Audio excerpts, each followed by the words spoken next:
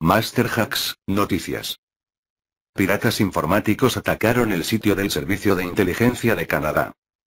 Según el Ministerio de Seguridad Pública, la página web del Servicio de Inteligencia de Canadá fue atacado por piratas informáticos este martes.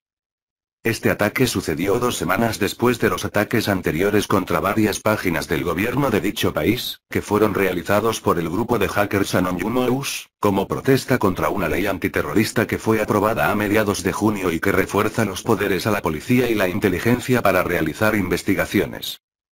Según el portavoz del ministro de Seguridad Pública, Stephen Glaney, el ataque es un nuevo recordatorio de las amenazas y desafíos serios que enfrenta Canadá.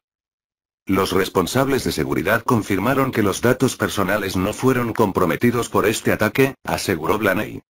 Blaney.